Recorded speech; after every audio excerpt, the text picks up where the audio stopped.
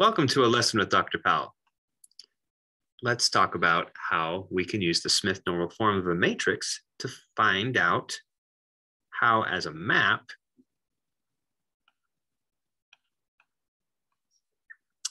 um, we can determine exactly what it, the pre-image of zero would be, which is another way of saying that is what the kernel of the matrix is. In particular, what vectors span that kernel you can do fairly nicely with the Smith normal form. First, let's just think um, if we have what we're looking for is this times something is going to be the zero vector. And that's what we're after. Let's see how we can do that when we do the Smith normal form.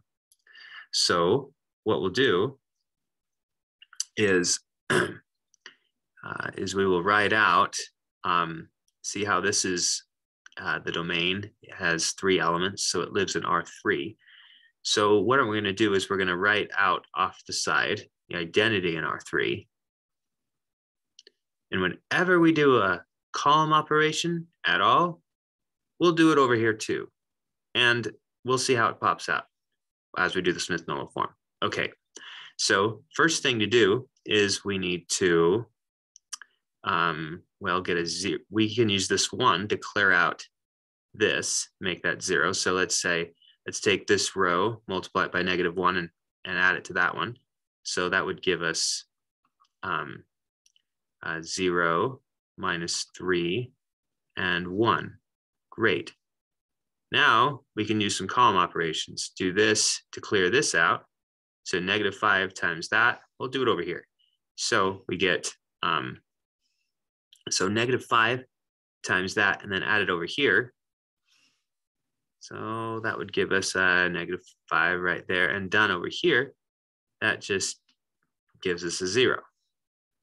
Okay. Now, one times negative two, all right, applied to that. Um, you know, that would give us a zero over there. And over here, that would give us negative two. Okay.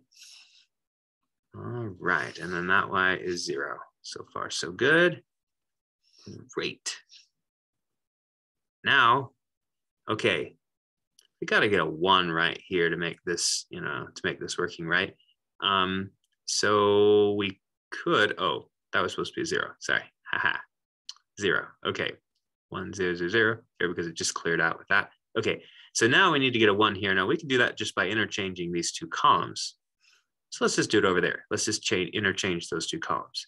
So we're going to get 1, 0, 0, um, negative 2, 0, 1, and negative 5, 1, 0 with those interchanged. Okay, and interchanging these, we get a 1, 0, 0, and a 0, 1, negative 3. Great. Now, let's do a column operation. 3 times this column added to that column. Okay, so 3 times this column added to that column would give you, see, so negative six and negative five would be negative 11. And there's just one. And so we're doing positive three times, right? Okay, yes. So three, um, so there'd just be three. Okay, perfect. And in doing that over here, we would just get zero. Now, you notice how this represents the kernel over here. Okay, so let's look at the kernel. So let's look at this part right here.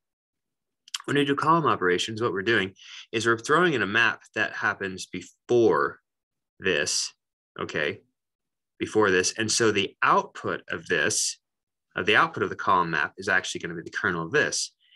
Well, the kernel of the Smith normal form is just that standard basis vector or E3, and the image of E3 is actually going to be um, right here. Um, and that's actually the kernel. So that's actually, so right here, multiples of negative 11, 1, 3 represent, so all multiples of that, so the span of that represent um, the kernel. And we could read that off simply just by looking at what happens to the identity matrix, doing just the column operations only on the identity matrix here that we do over here in the Smith normal form. Um, we could check our work just to make sure that's accurate. Let's see, um, negative 11 and 5 and 3. Yep, that gives us 0. And negative 11, um, 2 and 9. Yep, gives us 0. So it's very accurate. That was uh, kind of a fancy, fun way to find the kernel of a matrix, at least the span of vectors that create that kernel. Thanks for watching.